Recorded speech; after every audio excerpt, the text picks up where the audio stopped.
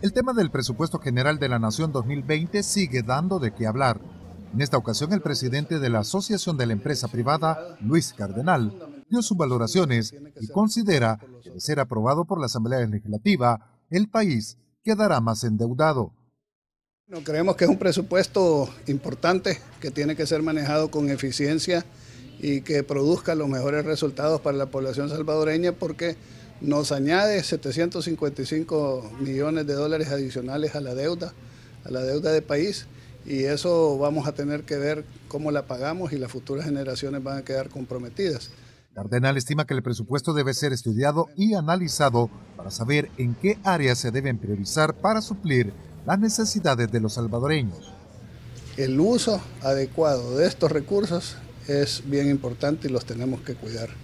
El presupuesto hay que analizarlo con más profundidad, a ver a dónde se pueden cortar algunas cosas para poderlas trasladar a las necesidades más apremiantes que tenemos los salvadoreños, como, repito, son salud, educación y seguridad. Sobre el tema de la independencia de poderes del Estado, asegura que es fundamental para lograr un equilibrio entre los tres órganos del Estado. Pone los balances del poder entre los diversos órganos y los diversos funcionarios. El poder absoluto corrompe absolutamente y nadie debe detenerlo. Cada, cada órgano del Estado tiene una función y esta tiene que ser respetada por los otros dos órganos. El que haya diferencia no es el problema, el problema es cómo se resuelven esas diferencias y cómo se llegan a entendimientos. También se refirió al tema de la superación del veto presidencial a las reformas del Fondo Solidario para la Salud, FOSALUD. Que el veto haya sido superado, pues es algo normal en una democracia.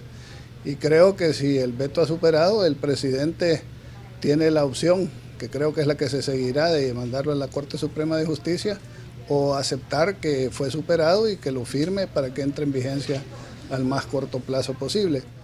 Además dio a conocer ciertos puntos que abordará la ANEP con el presidente de la República, Nayib Bukele.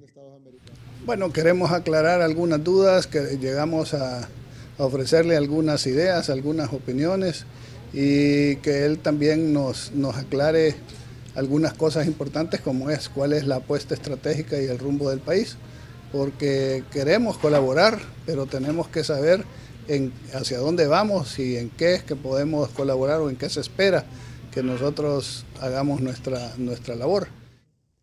Luis Cardenal espera que la reunión con el mandatario salvadoreño tenga buenos frutos y que esto traiga beneficios a la población.